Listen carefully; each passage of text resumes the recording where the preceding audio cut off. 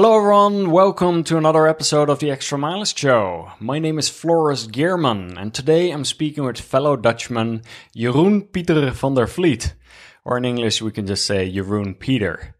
He has been going through a very fascinating journey. Many years ago, he was working as McDonald's as a floor manager, and over there, he gained quite a bit of weight. Actually, he was overweight to about 110 kilos, which is 242 pounds. Over the years, he was able to improve his health and pick up more sports in a variety of different ways. And he was able to lose weight and improve his overall fitness. He was able to run eight marathons so far, four of which have been sub three hour marathons, and he just ran the Berlin Marathon in two hours and 51 minutes. He made slow progressions over time. And so we're going to talk through some of this because his first run was very short and very slow. Yet over time, he showed what worked and what didn't work for him, and he shares that today. There are no sponsors for this podcast, but I do want to mention our Marathon PR training program. This is an online course with about eight hours of new videos and many different training schedules as well, both for base building and for the actual 18 week training cycle for a marathon as well. And this goes into many different areas, not just the running, the low heart rate training with some high heart rate optional workouts as well, but it also covers the other elements from nutrition to ways to lower your stress levels to mindsets to different strategies, heart rate based for specific races as well. And it has been fascinating to see. We've only launched this program about three and a half months ago now. And just hearing some of the success stories across the board has been amazing. I, I, hear these stories from people who are actually saying, like, I found a true love for running again because of the program. Or I was just in New York and I saw one of our members over there. He ran a 32 minute PR he improved from a 4 hours and 50 minutes all the way down to a 4 hour and 18 minutes in just a three and a half month time span. And he is far from improving, far done from improving at this point. So it's been fascinating to see all of these different things happening in the program right now. If you would like to find out more, you can check out extramilest.com slash marathon. And I'll make sure to leave a link in the show notes as well. Moving on to the interview, I hope you enjoy my conversation with Jeroen Peter. And we are live. Welcome to the yes. Extra Mile Show, Jeroen Peter. Thank you. First of all, I will have to say I love your pink headphones. yes, thank you. The, the iPhone headphones don't, doesn't work. That's, yeah, it's okay. No, so this is uh this is a new episode, a new experiment. And uh, I got a new microphone, so we're testing that one out. And you got some beautiful pink headphones, so we're ready to roll. yes. So, um, good. You um, you've been running for several years, and I'm very excited to dive into your entire journey over here because you've come quite a long way. And I was very stoked to see that you just ran another personal best at the Berlin Marathon, 251. Um, you haven't always been running those kind of times and you have improved a lot over the years. So maybe we can just go all the way back in time to where it all started when you got into running and and also I know the weight loss was a big part of your journey as well. So maybe you can tell us a little bit more from the beginning. Yes, I um I played soccer in my uh, youth. And um, when I was 17 years old, I think, uh, I uh, stopped playing soccer and I just uh, go working. And at a moment, um, well, I, I was uh, working as a floor manager at uh, a big yellow uh, M known as McDonald's. mm-hmm. so um, I didn't work out. I did eat not healthy so I uh, gained weight. At the moment, I thought this is the moment to start doing some exercise again. What What was your weight? What was your weight at that point?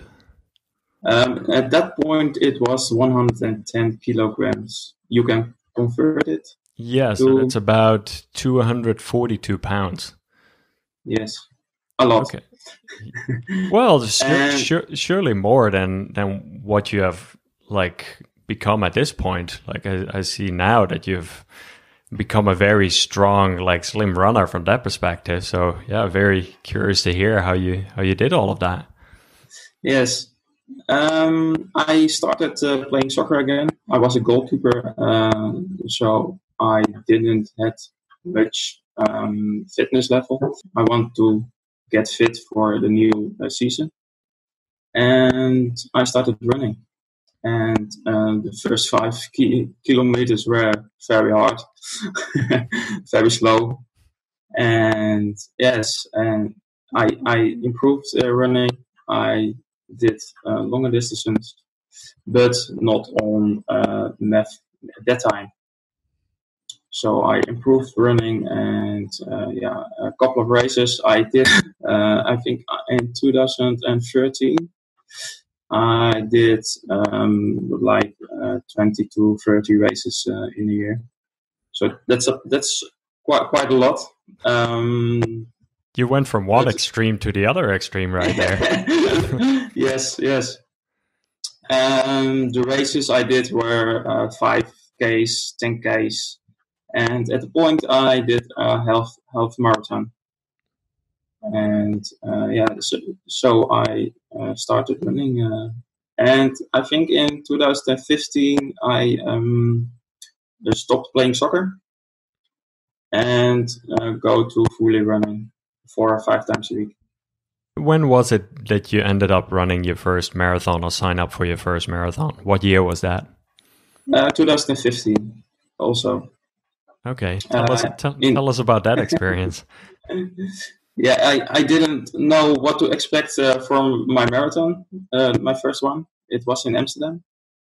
And I thought I was like uh, three hours and 30 minutes. That was my goal. I have to start something. so uh, I had a couple of half marathons done.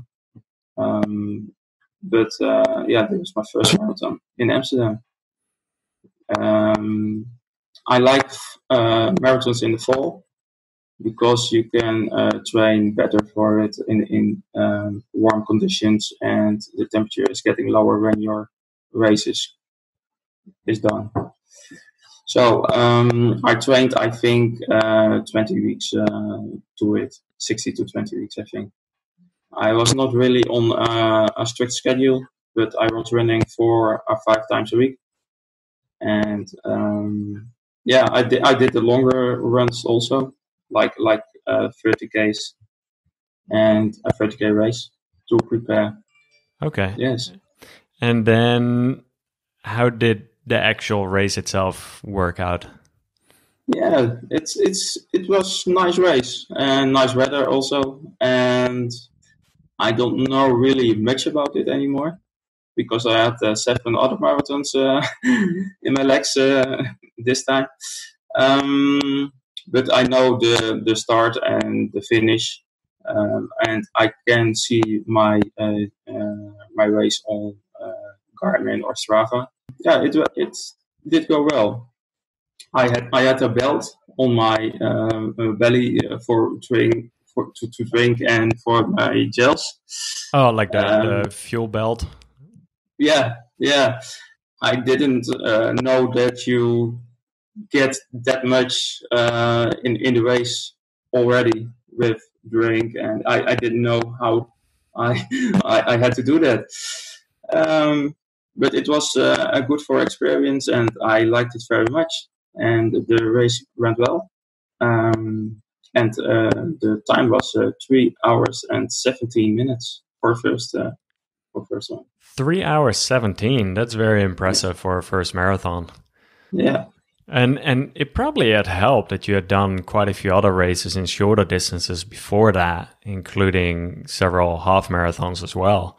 So at least you were to some extent familiar with race conditions. But then again, a lot of marathon first time marathoners get in trouble around the 20 mile point. So being able to finish in that time is very respectable. Absolutely. Yes. And and then from there on, how did the journey continue? Because you ended up running several more marathons and shaving off quite a bit of time after that. Like, what ended up changing in the training, or did you continue doing what you already did, or? I was continue doing what I already did. I did another half marathons and 10Ks, and I think in 2016 I had 40 races, even more than 2015. wow. Yeah. and I decided to run Amsterdam again for the second time in 2016. It's the the year after my first one. Mm. Because the, the, the, the, finish in the Olympic Stadium is uh, is very nice. Yeah, yeah. definitely. Uh, that's a fun last lap to run over there. Um, yeah. through having all the spectators and yeah, that's in Vondel, Vondel Park. Yeah. Maybe you know it. Oh yeah, no, I've ran it myself in 2014 or 15.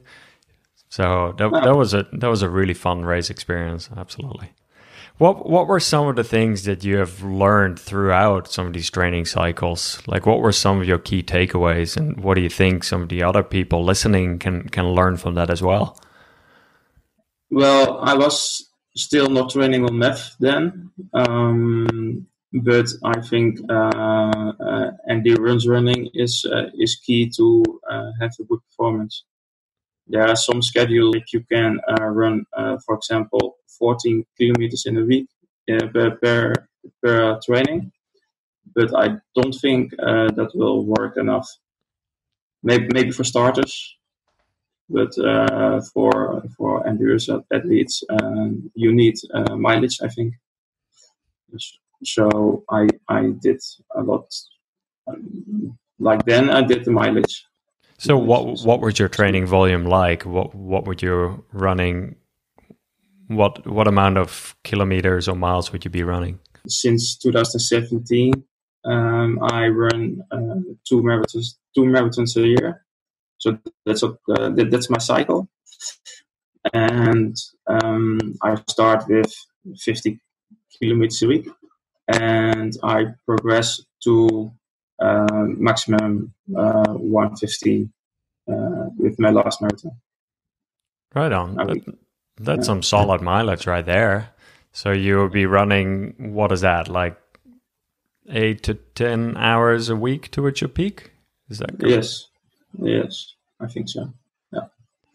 Like you were just talking about some of the lower volume schedules working possibly for some beginner marathoners, but as you want to continue improving, that volume plays a role.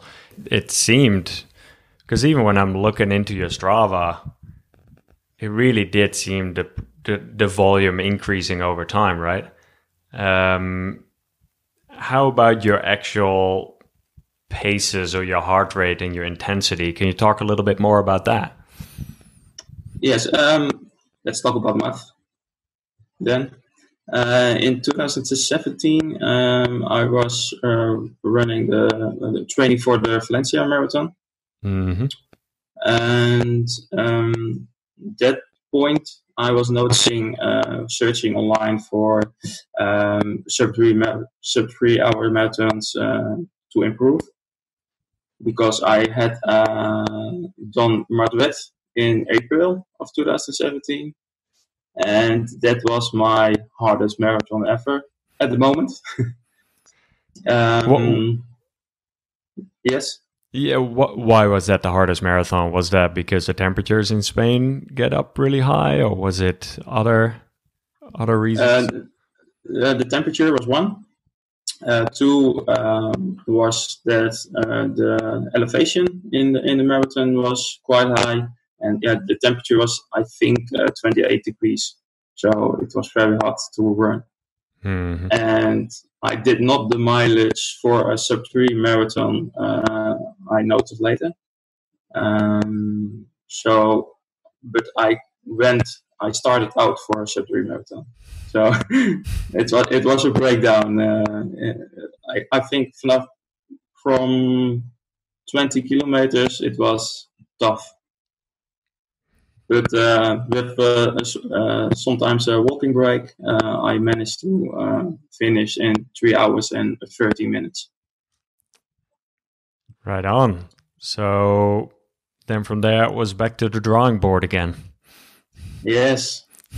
Let, us see what's what's happened there and how to improve uh, my marathon times um, um, uh, uh, with running.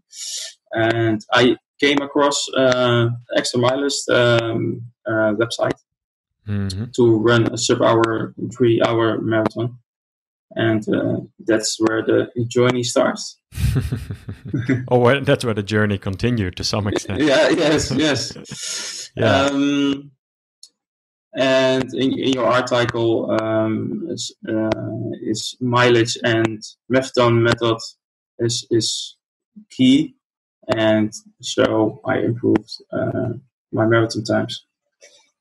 Uh, my goal in Valencia was a sub three hour marathon, and um, I managed to uh, run a two two fifty seven.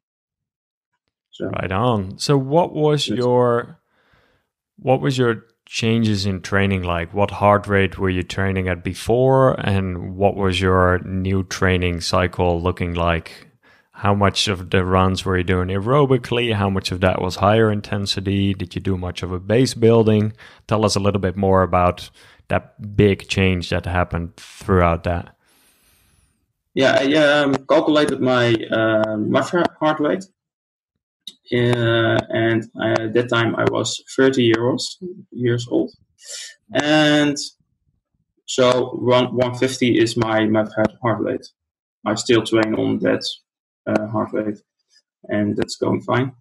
Um, before I was training uh, a little slower than I used to, to train. Um, so when I started with MAF, I had to um, speed up my pace. That's a lot different than other uh, people that running on MAF. That's yeah. Uh, that that yeah. is an interesting one. You're you're one of the few people actually has to yes. speed up in order to hit their MAF phase, which yeah. is interesting. Yeah, I I think I I ran um five forty before per and kilometer. Like, per kilometer, and now I train. Uh, or, or in 2017, I trained at uh, five ten, I think okay. kilometer. And yeah. do, do you feel you have to work hard for that, or do they still feel like comfortable workouts for you? Um, I, they are comfortable, comfortable uh, workouts. Definitely, yes. Um, I can run the day after my long run, for example, um, and and I I can run uh, five times a week. Do you happen to know what your max heart rate would be? Uh, I uh, I don't know exactly. No, Honestly. it's no, it's to- to- totally fine. But that that was one where sometimes there's some outliers too who have exceptionally lower um, max heart rate, or or some other people might be able to have a 200 plus max heart rate and can sustain that for a longer period of time. So sometimes there's obviously outliers. So. Yeah, I, th- I think it's between uh, 185 and 190. Okay. My max heart rate. Um, I was talking about the, uh, with a colleague uh, today, and his max heart rate was above 200, 210, mm. 212, something like that. Wow. So yeah, and he asked me um, if uh, MAF is the right way to train um, for him. So I, I, I don't know exactly uh, if, if, it's working for him or it will work for him. Yeah, and I think I think there's there's a few different ways to look at that part. I think that the 180 formula works well for the majority of people. However, there's like I mentioned earlier, there's the outliers on on both ends of the spectrum where if your max heart rate is going to be 200 or higher than that, as much as Dr. Phil Maffetone mentions that there's not always a direct correlation between max heart rate and your aerobic um, zones, I do believe that if if you're easily able to maintain 200 or you have a max heart rate of 205 or 210 or whatever it might be, that calculating the 180 minus h with some adjustments might actually give you a number that that might be lower than when you go to a medical lab and you test it that way.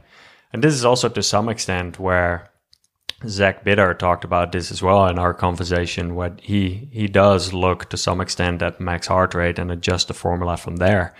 And and this is why I think it's a formula. It's it's good that that is one data point, but yet I still do from time to time, even with myself, look at some other data points as well, where after you've ran at at MAF for a few different years, I've noticed that it becomes harder and harder for me to do all of my workouts at MAF as well. So many of mine are at MAF minus 10 or MAF minus 15. Yeah.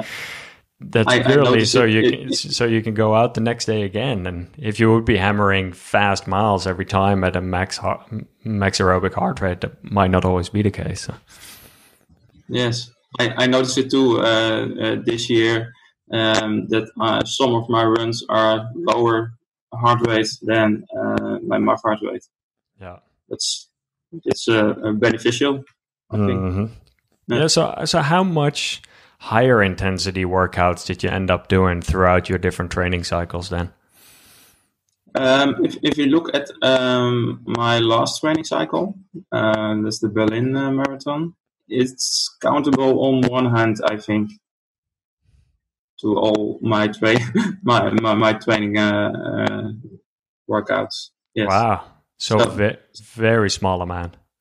A very small amount. Um, some tempo runs, and I think in the later stadium of my training cycle, I added some uh, interval um, sessions. Okay. Uh, that interval se- that interval sessions are uh, thousand meters or sixteen hundred meters um, on the track. Yep. Um, but not not much, not much.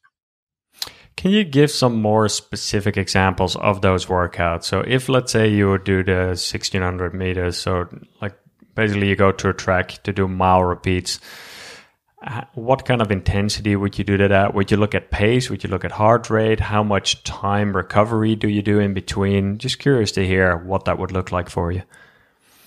Yes. Um, when I uh, do the interval session, the, the long interval sessions, um, I um, try to do them on uh, a marathon pace to get used to the marathon pace you want to run. Yep. Um, and uh, I did rest, I think, 200 meters. So that's that's not much, but uh, uh, enough time to recover for me. Yep. Uh, be, before method method, um, I start. I, I did run uh, several interval sessions, uh, not a week, but more and more than what I do now. My last training cycles, uh, let's say from 2017, um, there are not much uh, interval sessions. And then how many of those would you do? If you would do like the mile repeats, would you do four of them, three of them, six of them? Um, the mile repeats, I think I did four or five. Okay. Of them, yes. What What about some of the tempo runs? Would you do any longer runs or fast finish runs or or any of those?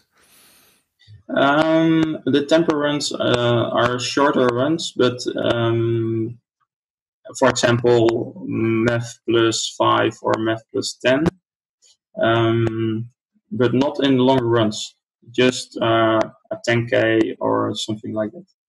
Yeah. Uh, I, I see something of your runs or others that uh, improved with long runs and at the end um, some tempo uh, kilometers or mileage.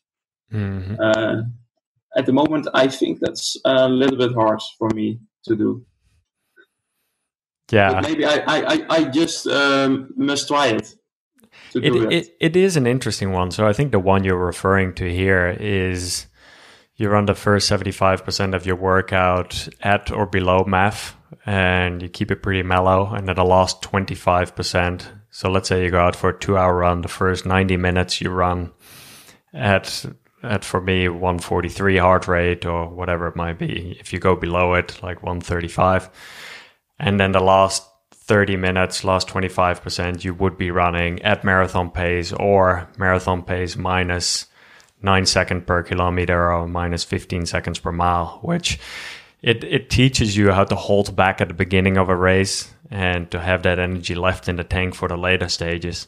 And those runs are not easy. Those can be very mm-hmm. challenging, especially if you go at marathon pace or faster than marathon pace after you've already been running for 90 minutes. And you can obviously do these shorter as well. You don't have to go for a two hour run, even if you do it for an hour run and you do 45 minutes and 15.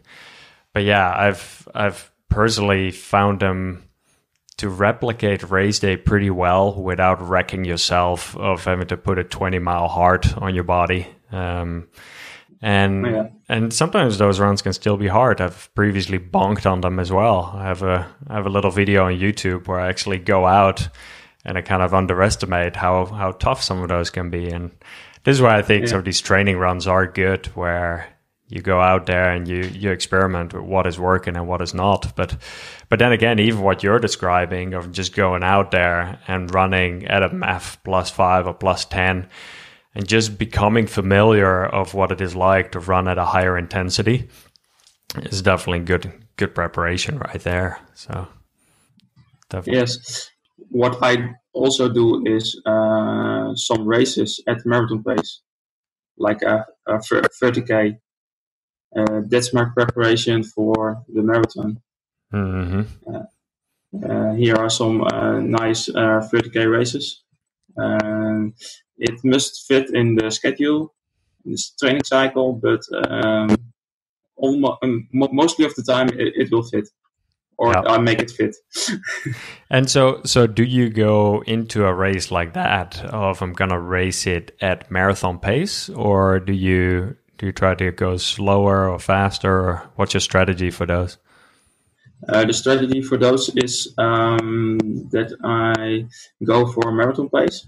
Uh, if we speak about a 30k uh, race, um, a half marathon race, um, it's a little bit faster. Yeah. Uh, yes. Yeah. So those are definitely like harder, challenging training runs, but they will get you in a really good shape and kind of a good checkup in the middle of your training cycle as well, I'm sure, and a confidence booster if it goes okay. So, yes, um, and I I have, um, for example, um, 30k in Amsterdam.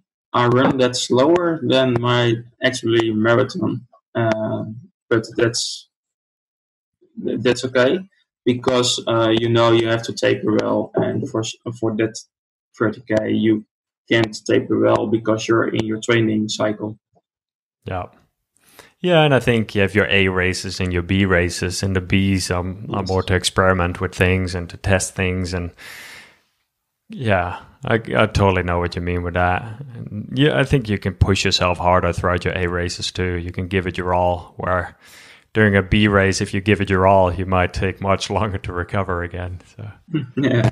Uh, what what else did you did you do? So you you ended up running the 257 marathon, but still you were able to shave it down a few more times, and you had a few setbacks as well where you didn't always hit your goal. What were some of the different things that that you continued to do throughout that? Like not only running wise but even like nutrition wise or strength training wise or what were some of the other elements of your training? Um, if, if you look the difference between uh, valencia uh, marathon and the berlin marathon um, mileage was uh, was one key that i changed and um, like nutrition um, I eat the last two weeks of the marathon preparation uh, more fats than um, in my training schedule. Okay, in what sort of way fats and and what kind of mileage difference was that? Um, the fats that I take is, are uh, almonds, uh, avocado, um, uh, eggs, uh, that's that sorts things, and seeds. And the mileage, um, I think uh, Valencia Marathon was peak week uh, 100 uh, kilometers. Mm-hmm. and in um, the Berlin Marathon, I peaked at 115, I think. Okay, so you uh, did did increase training volume by almost 10 miles from one yes. cycle to the next there. Yes, and and also a couple of weeks uh, at uh, 100k plus yeah. in the Berlin Marathon. So that makes a little bit difference to improve my uh, marathon time, I think. Yeah. Okay. Good. And for the rest, that was still mostly at low heart rate training with some speed work sessions and some races leading into it, then, right? Yes. Okay. Yes, that's correct. Curious to hear here. You you said like so the last two weeks you you increase your fat intake. What is your reason for only doing that the last two weeks versus doing that throughout a whole training cycle? Um, the whole training cycle, I um, eat um, fats also, but less than the last two weeks. Okay. Um, I, I don't know exactly why I, I did this uh, my uh, last uh, and before preparation my Köln marathon. I started with that. Mm-hmm. I think I have read it somewhere. only I don't know where anymore. So yeah, I've tried it and um, it it it was good, and I think it uh, improved it, but I don't know for sure. Okay, well, it looks like you found something that's working. I, I, so, I like I'm I'm just like you, where I'm experimenting with a lot of different things, and sometimes you you experience something and it works, and sometimes it doesn't work. But yeah, it's it's one of those things where if you if you find like oh yeah I've I've been able to train well with it, and typically it works well on race day as well. Even though sometimes some things in training work at a lower intensity, and then I prefer to experiment with it at a higher intensity sometimes too, because it might react differently again. So, but. yeah, maybe it was uh, the book um, from uh, Patrick Fitz, Fitzgerald, mm-hmm. uh, Racing Racing Weight. Okay, it's an interesting book. Yep. to read.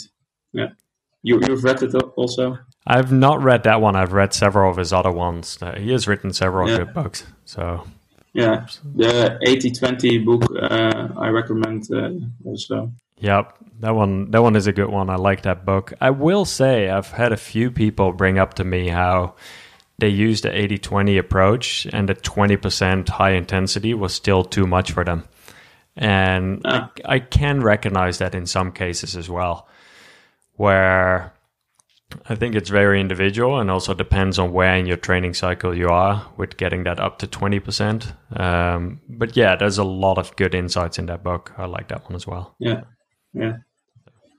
Cool. Talk to me a little bit more about strength, mobility, flexibility. Do you do any of that or are you just running? No, uh, I'm smiling uh, already. um, actually, I have uh, do, did not um, do any uh, strength training, mobility, or something like that. Um, so there is maybe an improvement for myself to do more uh, strength and mobility training. What I did is on the track uh, at at my club. Uh, we did some uh, technique, uh, um, running skills, skipping, uh, like, like that. But I do not train much at the track mm-hmm. because because we train on MAF. That's that, that's why I don't train uh, a lot at, uh, at, at, at the track. Uh, sometimes for a MAF test, it's uh, ideal for a MAF test, the track training. But um, overall, I don't train a lot. Yeah. Okay. Right on. Have you experienced any like so after you go through a training cycle like this and sometimes during your higher training weeks, right? What what are some like so so you don't do necessarily mobility or or or flexibility or any of those. Are there any things that you do to recover well and to be able to run well the following week again? Is there like is there anything there? Uh, no, like for, for um, for example, do you take hot Epsom salt baths? Do you take any cold showers or ice baths, or do you do foam rolling or, or any of that? Or you're you're more focused on the running component mostly? uh, mostly on the running component. Um, uh, with longer runs, I do drink and eat after my long run uh, directly, uh, like um, sometimes chocomilk. Um, sometimes, sometimes, sometimes I take a protein powder. Um, what I uh, take as a supplement is uh, magnesium uh, pills, Okay, and that, that that's the only one I take. And And that's I do you take I that think- daily? Do you take that? uh, daily, daily, yes, especially in my training cycle. And what what have you noticed anything in particular for that? Or Um, I did notice something. Um, I think it has something to do with recovery also. Um, some strength in the legs. And uh, that, that's it, I think. Okay. The chocolate milk is an interesting one because I think a lot of the guys in the UK that I've had on the podcast have brought up milk or chocolate milk as well post workout. That seems to be uh, quite a common common thing. Yeah. So It, Nice. it, it has some sugar, but uh, enough sugar for your post uh, uh, race or post uh, workout meal. Mm-hmm. and it tastes good. Yeah, I'm sure, absolutely. When you go through actual race day, right? So let's say you've trained at your specific heart rate of 150 or below, and then come race day, what is your strategy going out of the door? Because I, I get that question quite frequently, like, oh, what what heart rate or what pace should I be racing at? How do you go about that? Do you purely look at I have this time goal that I want to beat, or do you do look at you let your heart rate go for a certain certain zone? Um, that's a good question, indeed.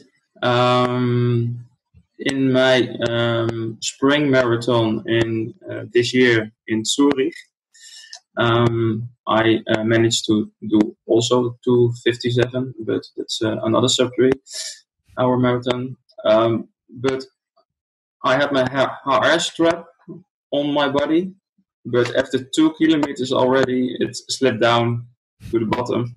So I had no idea what uh, what heart rate I was uh, running at. Um, so I decided to uh, run Berlin without a heart rate monitor. Okay. Um, the optical um, on, on my watch is uh, not um, good enough. Hmm Still, still not good enough. So um, actually, I do not race on heart rate a marathon. So I I do know what pace I can get. Uh, I wanted um, a PR of personal best uh, at Berlin. That was 253. So I want to go um, uh, faster than that. So I managed, and it was quite um, fast. I think I, I, I started in Berlin, and uh, it uh, it went uh, very well. And I think from 34, 35 kilometers, it I, I had some troubles, but uh, it's it's like seconds. It, it was minor, minor, slow, slow, but yeah, it's it went very well. Were Were there any challenging spots that you had to push yourself through, like when you started going slower? There was, or were you able to maintain all right? I, I saw I saw the course profile. I uh, watched that before the race, of course, hmm and uh, between 26 and 13 kilometers is a little bit up, a little bit of elevation. hmm Um, that was the hardest part, I think. But Berlin is a flat course, of course. it's not like Madrid, Madrid or another uh, marathon. But um, yes, that, that was the hardest part to maintain there my pace. How do you go about challenging spots in your race? Is there anything you tell yourself, or do you like how do you overcome challenging spots, both both in actual races, but even on on days that you don't feel like training? Yeah, you you tell yourself uh, you you have trained for it and uh, you can do it. You can do this, and you know um, after the race you can rest and you you have to go now and you know you know you can do it and yeah that, that's that's the main part and if you are um, if you have troubles in the race you can adjust maybe your nutrition in the race itself and of course uh, your um, your wife, wife or your girlfriend or something like that. We think about that. Yep, and all those things will give you the energy to carry you to the finish line. Exactly. I, th- yes. I think that's a very valid point. That that one right there of like discomfort is temporary and you're you're almost gonna get there like you you've worked so hard for this and now just now it's time to execute and and push yourself just that little bit harder and i think discomfort is one of those things that you can to some extent become familiar with and i think in some races the more you race i think over time you kind of know where your boundaries are too and it's this fine dance with how hard you can push it there but yeah it's it's not a territory you get into that frequently.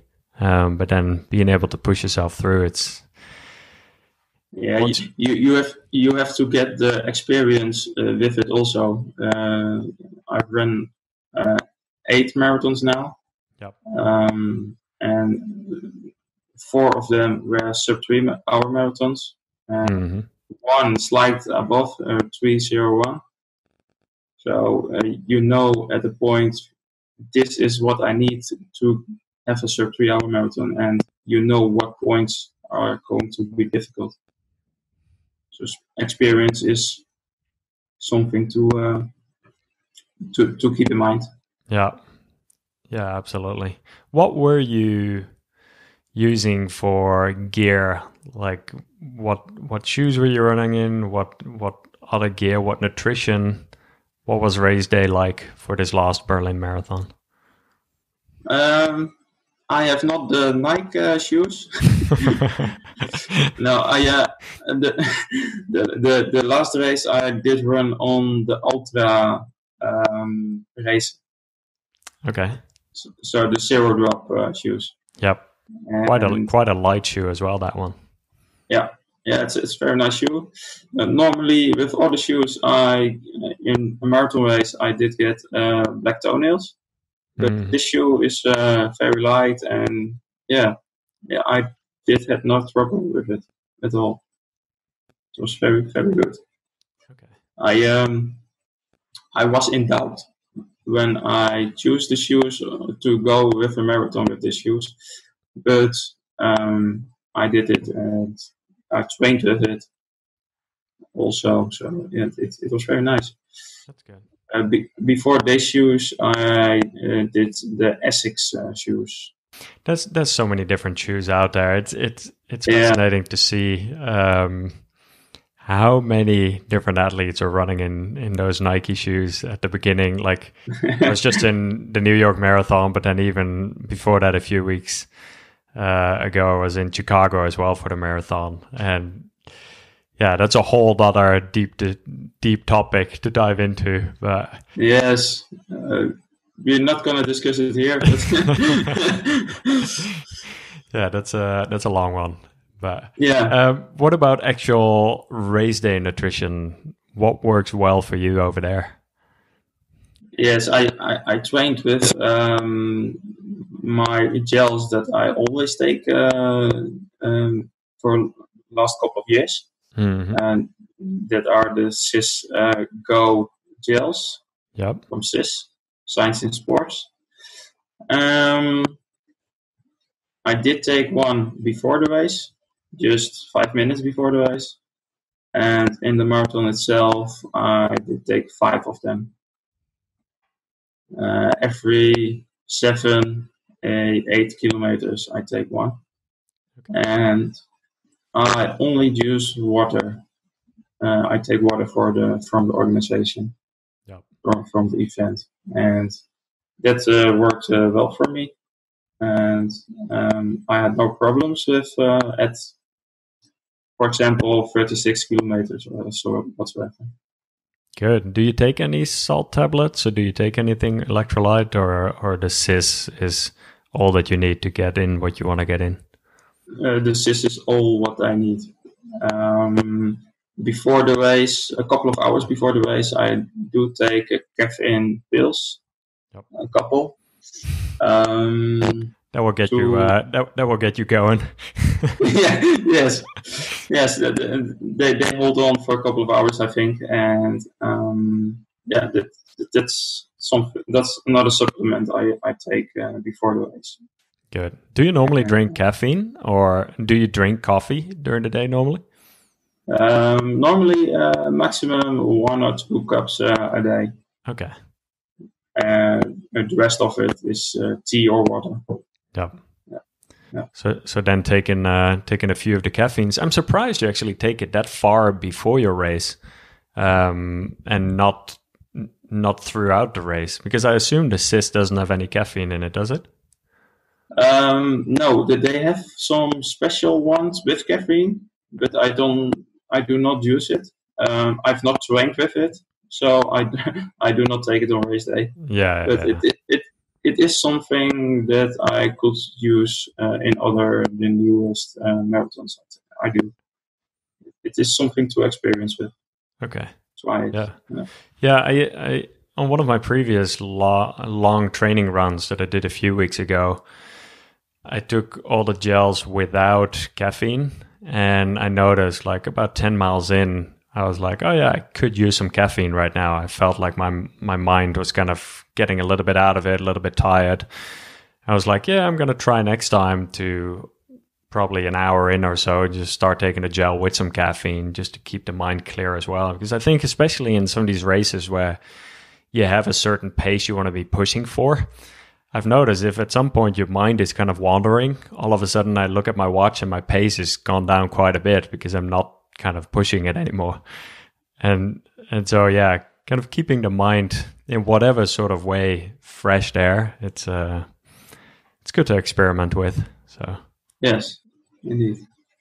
Tell me a little bit more. So, I, I do, I do think one fascinating part, just looking at your story, is so eight, nine years ago, you when you were working at McDonald's, things things were not very active. You got into playing soccer more. You had lost a bunch of weight, and you started running and ran a lot more. How did how did your weight change over time? Was that gradually it just became less, or did you see a pretty significant drop once some things turned around?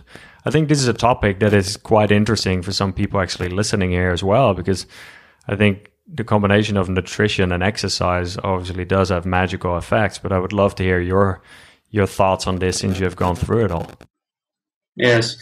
Um, well, when I was starting with uh, workouts again, uh, playing soccer again, um, I did notice my nutrition. Uh, I was getting healthier food, but also there I didn't know exactly what to do. Um, you have to experience more and more with it.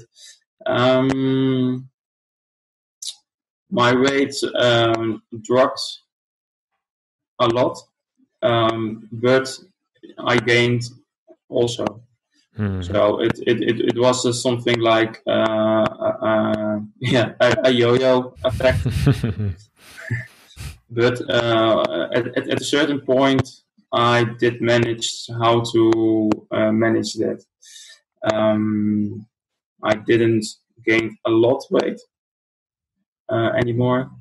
After a marathon, I gain I, I gain weight again um, because I enjoy life, and after after a marathon, you um, train less, so you see that your weight is gaining. Um, with my last marathon in Berlin, um, I noticed that my weight was gaining less.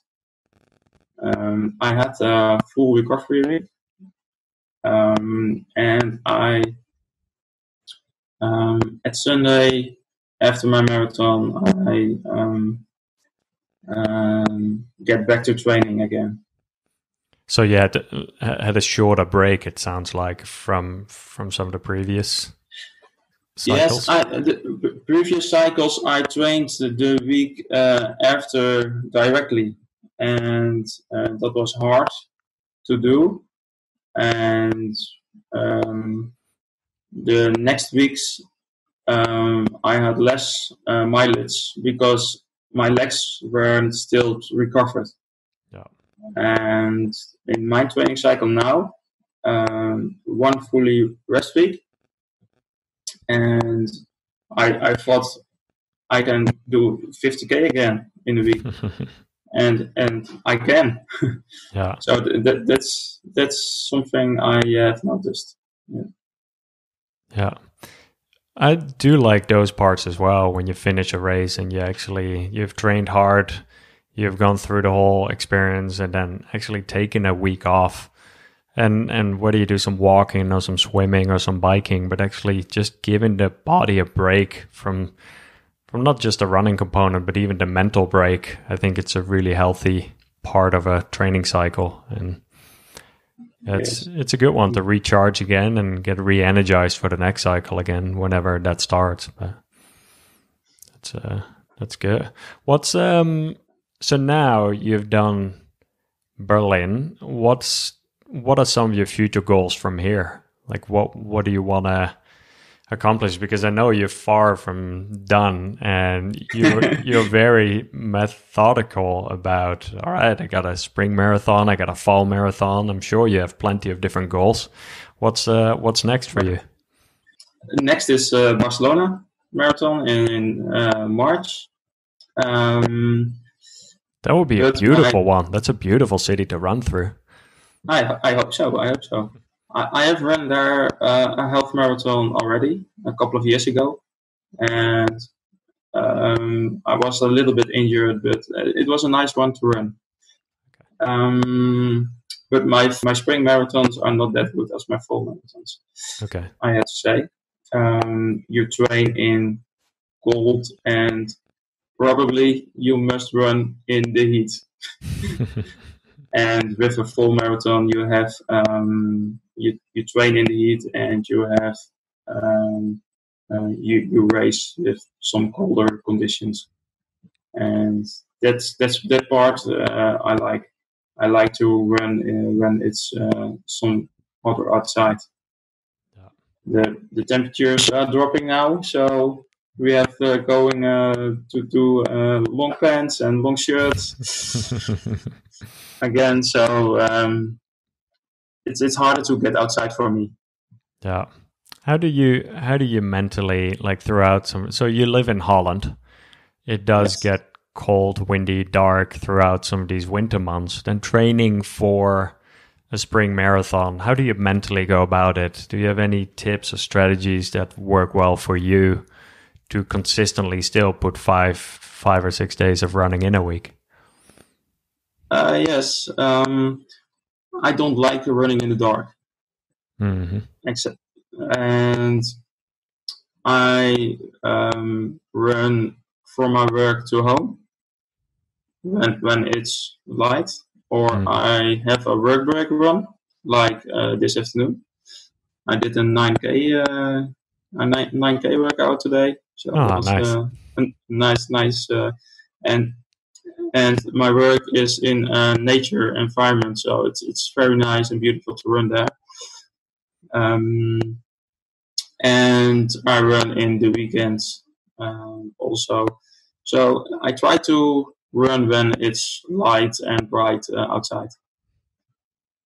Sometimes it's not possible, but I, I try to to manage uh, lighter uh, uh, when it's light outside. Yeah. Yes. Yeah growing up myself in Holland, it was raining quite a bit during the winter months and occasional snow. Yeah. How do you go about those? Do you anything mentally there that works well for you? Uh, I think you have to go outside, um, despite rain or something else. Uh, you have to uh, prepare yourself for going out. When when I go out and it's not raining, it's okay. And if I work out when it's when it's going to start to rain, when I'm running again, when I run, um, I have no problems with that.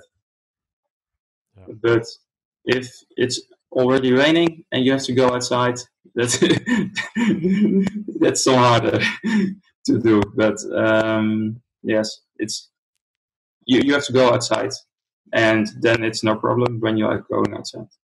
Just get started. Exactly. Yeah.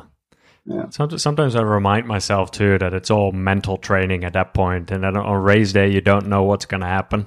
It could be raining the whole way, so it's it's another good yeah. training element. You're getting out of the way for race day there too. So in uh, in, in, Berlin, uh, I had some rain at the last uh, part.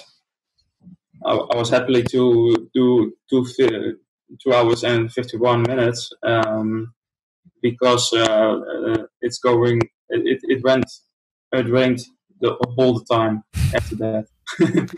yeah, that's that's rough. If you're running for five six hours on the course, you definitely uh, starts cooling oh. down quite a bit.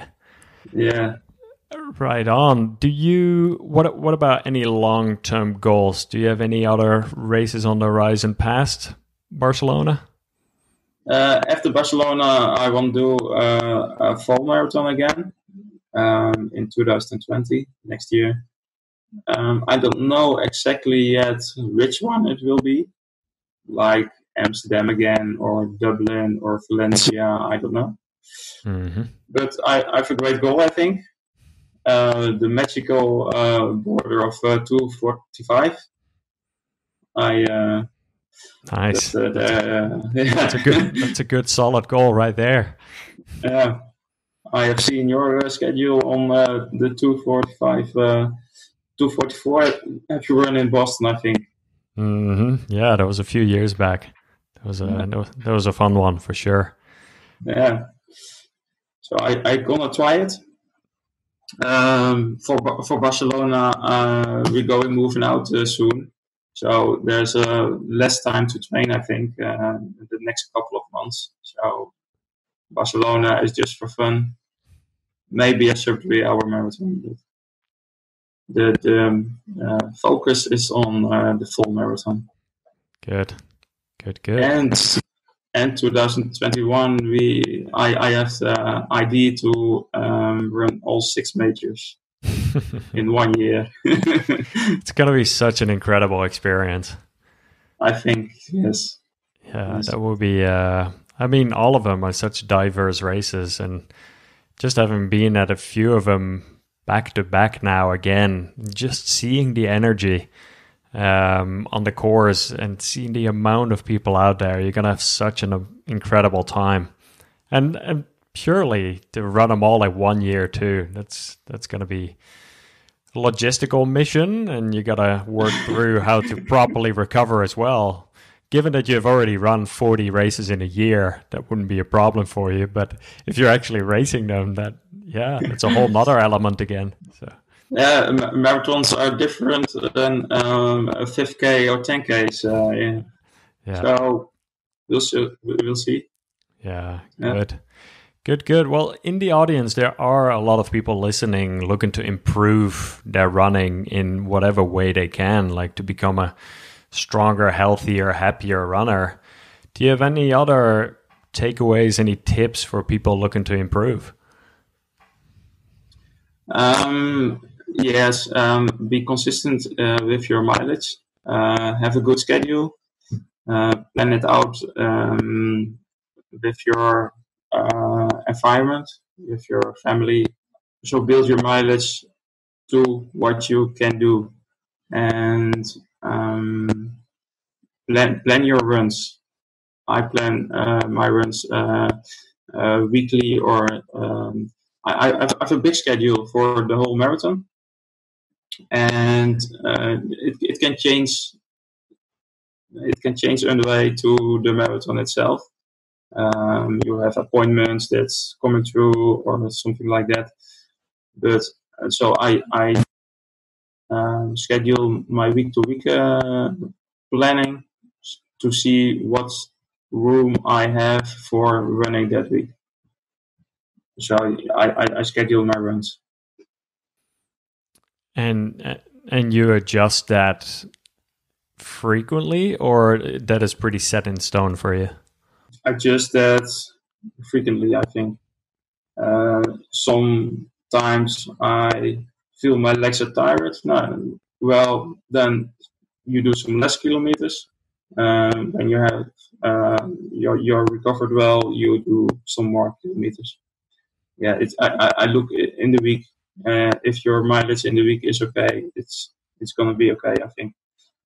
And um, yeah, build up to your um, uh, peak weeks. Um, not too much, of course, but uh, but building up yeah, nicely. Yeah, I think that that's another very good one. The I do see quite a few people building it up too rapidly, where they go from yeah. three hours a week, four hours a week, eight hours a week, and and yeah. Yeah, it's indeed like putting on the brakes a little bit and gradually, even though you feel like at the end of the week, like oh, I could have done more, it's all still the ba- building stages, and gradually building it up over time is so important. So yeah, and um, with nutrition, you can eat healthy all day long, um, but you have to enjoy the, your life. So in eating, you can have also an 80-20 rule, for example. Um, I eat, for example, uh, also chocolate in the evening. Uh, or are we going out for dinner? It's it's it's possible with with your schedule. Yeah. Yeah. Yeah, I think I think that's very well said. And yes, as much as there's like, yeah, you can be super strict about all of this, and at the end of the day, it's also you end up going to a birthday party or you end up going through some of these things, and mm-hmm. even sometimes when I'm surrounded by my kids, yes, I will eat a bit of cake, but more out of a social setting and not necessarily like I would be plowing away a whole cake cake on my own if I'm sitting here solo, but. Yeah, I think it's that fine balance between doing what works well and what, yeah, to what extent you want to do that. Absolutely. So good. Do you have any other closing words? Anything else that you want to share with the audience? Share uh, marathon things on Extramilest to uh, communicate with each other uh, for tips or something like that. It's uh, good to good to know what others other people think about it and yeah yeah there's there's a lot of conversations happening in there so i didn't even yeah. mention this yet um, but yeah Jeroen is one of the admins in the Extramilest facebook group as well and we've grown to i think 2500 people at this point a lot yeah. of conversations happening in there it's sometimes even hard to keep up with it uh, but great, great questions and support and updates from runners all around the world. So yeah. for anyone who wants to check it out, it's the Extramilest Facebook group, and you will find Jeroen in there. You will find Xaba and myself, and many other runners from around the world, trying to help each other out. So definitely, it's a good point right there. So awesome. Where can people find more about you, Jeroen? You have your Strava correct? That you post? Strava. I do the most on Strava. Uh, Um, yeah, Gar- Garmin, of course. Um, uh, Facebook. Yep. That's yes. Instagram. I put also. Cool. Perfect. I'll make sure to link to all of that in the show notes as well. So good stuff. Right. Thank you very much, um, Jeroen, for sharing all of your insights. Um, You're welcome. I'm sure, I'm sure if there's any follow up questions that people will know how to find you also through the Facebook group and other channels. But yeah, and enjoy enjoyed hearing all this, and it's been great seeing all of your progress over the over the years, and I can't wait to see what's what's coming up next year in 2021 as well. So, all right, good stuff, Jeroen. Thanks. We'll talk soon again. Thanks a lot. All right, have a good one. Bye. Thank you for listening. I hope you enjoyed this conversation. More information about the Marathon PR program can be found at extramilest.com slash marathon. And this includes an actual breakdown of the course with all of the different videos and the different type of training schedules that you can expect as well. Also, all of the show notes from today's um, podcast can be found at extramilest.com slash 26. So that's the number 26. And there will be links in there also to the different Facebook groups, the different um, books and materials that uh, Jeroen mentioned in this podcast as well. So, if you have any questions at all about this show, please let us know in the comments on YouTube, or you can join the Facebook group and ask it directly to Jeroen or myself as well. All right, you guys have a good one. Later.